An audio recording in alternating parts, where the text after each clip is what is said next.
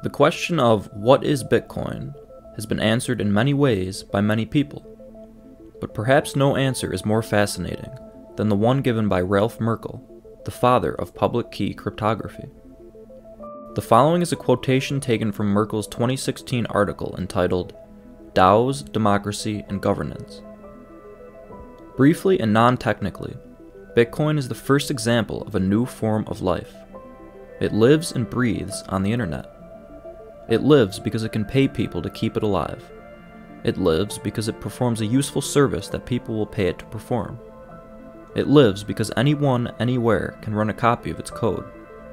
It lives because all the running copies are constantly talking to each other. It lives because if any one copy is corrupted, it is discarded quickly and without any fuss or muss.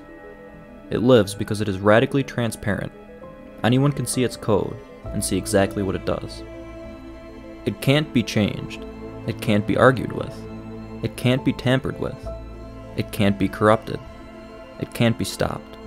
It can't even be interrupted. If nuclear war destroyed half our planet, it would continue to live uncorrupted. It would continue to offer its services. It would continue to pay people to keep it alive.